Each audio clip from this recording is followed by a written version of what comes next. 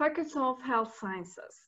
Our faculty started its activities under the name of Afyon Health School for the first time in 1997.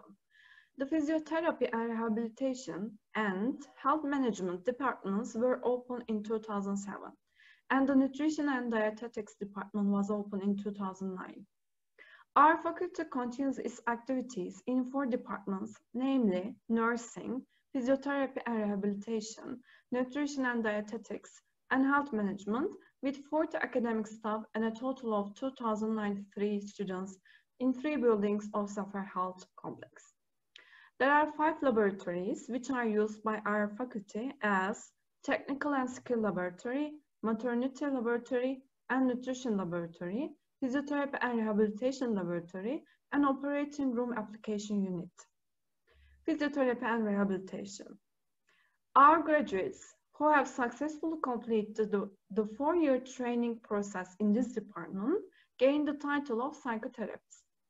Physiotherapist is a profession that has gained the knowledge and skills to plan and apply treatment approaches by using assessment methods specific to physical therapy in all kinds of injuries, diseases, and aging that cause movement disorders after diagnosis of a specialist physician and has important duties in increasing health and quality of life.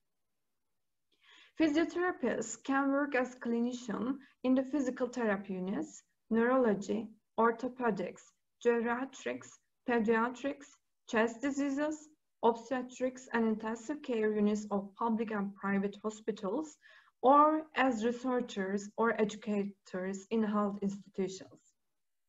Healthcare management. Our graduates who have completed the health management department can continue their careers as a middle and senior manager responsible for administrative, financial, and technical affairs in a wide range of services, especially in hospitals, public and private health institutions, and organizations. Nutrition and dietetics.